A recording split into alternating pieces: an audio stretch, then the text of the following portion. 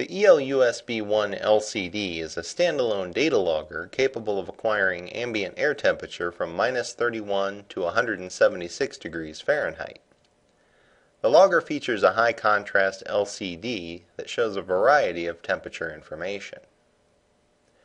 With an included lithium ion battery, the ELUSB1 LCD can sample at intervals from once every 10 seconds for 45 days to a sample every 12 hours for a couple years. The included EasyLog software allows you to configure the ELUSB1 LCD via a USB port and upload data for analysis using the EasyLog USB Graph utility.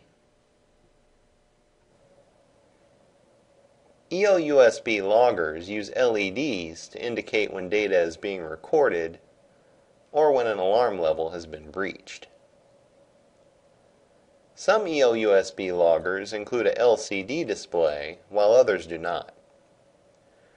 Those with a LCD display include a push button that can be used to cycle through minimum and maximum values or to start recording.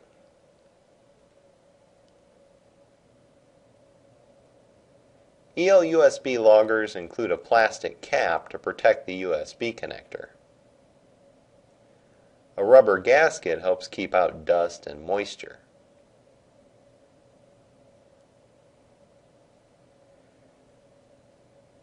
To install or replace the battery, simply press the Release tab with a small screwdriver and slide the case back to expose the battery compartment. Most ELUSB series loggers also include a bracket for mounting.